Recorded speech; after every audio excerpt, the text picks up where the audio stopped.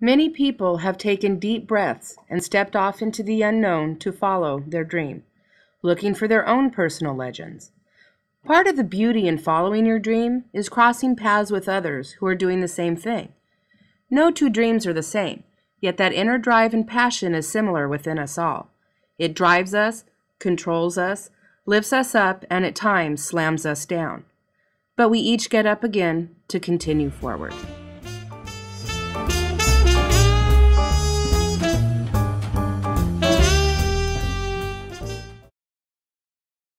I'm Barbara Perez, and this is my Michael McQuary session of Individual Journeys, which is a look into other people's dreams to see what makes them pursue their own personal legends.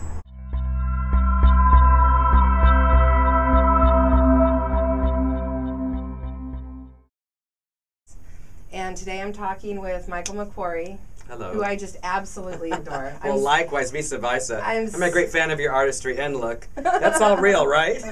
yes, it's it's uh yeah. Yeah, yeah. McDonald's. Brought to you by McDonald's. well, someone had to do it. yeah. I'm right. so glad. I'm loving it, as they say. Tell me about Michael McQuary. I want the whole world to at least, although I don't think anybody will ever totally understand you because Me you're so included. complex, right? It's like a- you're like an onion. So complex, but I mean, just to kind of give people um, a peek into your mind, and what makes you tick. Well, how lovely for the opportunity, as in anyone or any artist, to hear something that even my meager little contribution to hopefully what makes other people's hearts beat is my whole song. That's my whole purpose on the planet. Um, well, as uh, I think, as my mother said, when I was four years old, on a rainy beach day somewhere in the Pacific Northwest, I was made in Portland, Oregon. That's another part of the story. But my mother told me that when I was like six or four, uh, we were reined in on the beach, so we had to watch this little black and white television. And Dracula was on, starring Bela Lugosi. And my mother said that I was like six, or I mean, I probably jumped from three to four, but I don't remember. It was young. But I was, uh, she said that I got up to the television, she said, and she just, instead of watching the movie, she was watching me watch the movie. And she said that I was just transfixed with watching Bela Lugosi's Dracula. And I just turned to her, she, she said, at, and I was like six, and I just said, Look how he holds his cape. Now, I mean, she thought right then and there, now this is something different. Let's get this kid involved with something. Because that's not your typical response to, to uh, Dracula. So she thought that was interesting, and thank God for that. And she w- was a great lady and the love of my life. And I was put in an acting school, and um, the story goes in Portland, Oregon, at the Portland Civic Theater, that um, I was put in a simple improv, what they give to standard children. And I think it was Cowboys and Indians, and I was like, I just decided to be the villain, right? AKA very Dracula. As the story legend goes in Portland, Oregon, that something happened that day, that the instructors freaked out, and I was instantly cast in. Uh, they had a mini masterpiece series, and I was the Emperor and Androcles and the Lion, and I blasted in these doors as a little ten-year-old, and I said. Who is that man? Where is he? Magnificent! you, sir, shall be the greatest man in Rome. And henceforth the world changed. And from then on, um, I did um, The Witch of Sleeping Beauty to my mother, rest rest her soul, to this very day. Her her um, always was her favorite thing that I did. So, but anyway, I did a lot of characters and things like that, and um, I was. Um, Now, all of your characters, you stick to like the old black and white. I love somehow, yeah. They took care of me as a child, so the reason why my my echoing back is really what I do. Is what I did best was recreating Lon Chaney, uh, even Marlene Dietrich, Bela Lugosi, uh, Boris Karloff. Uh, I loved how these old movies, how these old movies uh, had a indelible imprint on my psyche. And since my mother and I were all we had, I was an only child, the other story. But I would sequester myself in my little room and I would make it big movie land. I'd put on the 1812 overture and I would reenact these huge epics all alone that no one ever saw. but to me, it's what saved me. Now, had you seen them? And so, or were you No, I just the music. I, classical music has always been my blanket or brother and sister, and so uh, I just classical music took care of me, and I would act. I would reenact stories, and not really know, but I was so moved by the music that uh, I would just reenact stories and things, and and then it it it, it, it, matured in time into like seeing like Gloria Swanson and and uh, all these great movie stars, but um, and I would just uh, did uh, all these recreations of what they did that inspired me, and so then as time went on, I got older and uh, came to New York, and a and I did all these club scenes. I, I was 18 and I was somewhat attractive, so I don't know what happened. But anyway, I was liked, and so people gave me a chance, but they didn't realize. So these bar shows, Boy Bar in the 80s was like a very focal point. A, a lot of artists trying to stay alive. So you were in the club. I uh, was kid. a, I was a club kid. Club yeah, kid. that's Oh, where that comes. Yeah. yeah. on Facebook it's crazy. Find me on Facebook. It's nuts. It's fun. Um, but anyway, um, yeah, I I, uh, I did Yma Sumac, which of, of all things, which is even was even more bizarro because I heard again it was music and sounds, and uh, I always felt like I was never smart enough to do the typical real actor thing, and yet I did. But you know, everyone has their stuff, and so see, we're not. You're all. We're all the same, and. Um, so I just did like all these recreations of m- movies and stuff. And anyway, here's the story. I was asked to uh, uh, um, audition for a movie. I forgot what it was. And this producer, after waiting for this huge line outside of this window, a casting agent, I finally got in to see the casting agent.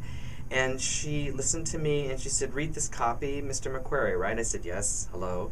And she goes, Hello. Please read this copy. Thank you. And I did. And she asked the other people to leave the room. And I said, Uh oh, what happened? She goes, Well, you're not right for this role, but I want to tell you something, Michael. Look out this window, and you see all these hundreds of people auditioning for this one role. You're this one thing for all those hundreds of people. I can see that there's work in you, that you're different. Go with that. Go with that and do your own thing because this is not for you, but you can be a lot for ev- everyone else Mhm. and I never. I'm starting to cry. so, because and I, I, forgot that until now. Did you just brought you? You're great. You kind of you know ignite things, and that's my whole purpose on the planet is to ignite others, and so that's part of the story, as Well, you said, I think which you is definitely complex. do. I mean, I was just instantly drawn to you. It's like I'd known you forever and ever. And um, I met you at um, the Complete Performer, Yes. Ted Greenberg show. Wonderful show. And great show, fantastic show. Um, but I just instantly, there's something about you that just, I think, draws a certain kind of person to you. Well, it's passion. It's passion, and I th- thank you, thank you, and vice versa. I mean, you know, um, I uh, my strength and, and my playing card is uh, passion, and my whole. That's really what I what I I use, and that's what I work on and work with. And a lot of the film work, people always say, "Oh my God, you're so incredible," and it's like, "Thank you," and I really appreciate it. But what I it, what it really is, is I'm just showing the pain to gain, and I don't have any doors or ceilings on that, and I just blow it well, all. speaking of your passion, what made you choose Fu Manchu? I mean, because that's you've you've got it's incredible. I've, Well, I've thank you. seen um, which Fu Manchu was it that I well, to the filming? the- yeah, yeah, yeah. The, the secret power. Um, I'm sorry. Uh, uh, Fu Manchu's Weapon of Evil. Weapon of Evil. Yeah, it's a web series on you, YouTube. Um, you can see all chapters on YouTube if you just type in Fu Manchu's Weapon Blap. They all come up. There's nine series. But uh, that's a really interesting question, and now it's inter- it's wonderful to have an opportunity. After I did a show for many years in the early '80s into '90s called it was a, it was a cabaret show. Irv Rabel found me at the Trocadero and basically was my uh, Lana Turner story. He saw me at the Trocadero and Quentin Crisp was there and it changed the world. And he goes, "Oh, look at your spat! How dramatic! I love it." And so, because I always liked the glamour, Irv Rabel took me to the 88 and I did Matinee Idol, which was a celebration of I did everything from Valentino to Betty Boop to Bela Lugosi to the all the Disney villains to uh, Karloff to Chaney to Chaplin to and somehow in 58 minutes. and also, it ended with me saying thank you because I thank anyone that gives me a little time. With your time, to me, is is everything. Mhm. Um, so then, what happened? Then, of course, things intervene, life and survival, and always, that was always difficult for me. And then my friend John, my friend John, uh, John Johnson, delightful, best friend in the world, said, "Okay, Michael, we're gonna go to the museum. We're gonna go to the Brook- Brooklyn Museum of Art. There's a thing that you might like called, you know, villains, tramps, thieves, and you know, uh, pulp art exhibit: murders, tramps, villains, thieves." Sounds like everybody. Moment I of peril. I know, sounds right? like everybody I've ever hung out with in my life. I think I heard something over Collection here. of Barb's ah, they're, life. they're, they're about to come get us. Well, I'm so del- so you, you're a weirdo magnet too. Yeah. Anyway, that's what someone called it. Anyway, so long story short, it I was so miserable. And after, where do you go from Matinee Idol and Joe's Pub, and everyone's saying you're uh, better than sliced bread. I mean, you know, but then it dies, and then you kind of die. So to answer your question, John said, "Come with me. Let's go see this thing. You might like it." Okay, fine took me forever to get there, right? Because I didn't want to go because I hated everything and I was so romancing the problems, as they say. Get out of that. Find what makes your heart beat. Better way to do it. Um, and I walked into this installation. Music, music playing, grand music. There was a there was a woman way up on a spiral staircase mannequin with her scarf blowing and this fan blowing on her, and this body at the end of the steps dead with a dagger. And I said, yes, yes, this is where I'll go from my one man show. I'll go do something like this. But what? And John said, look at this, Michael. And there was these paintings. It was called Moment of Peril. And it wasn't like, oh, I'm gonna get stabbed. It was right at the moment where it's gonna happen. So it was like, this is as intense as what I can do. This is like a step notch up from my one man show. And I was freaking out, loving all these things, these mini stories and these paintings, you know. Is it you're getting what you want? This is all it's all amazing.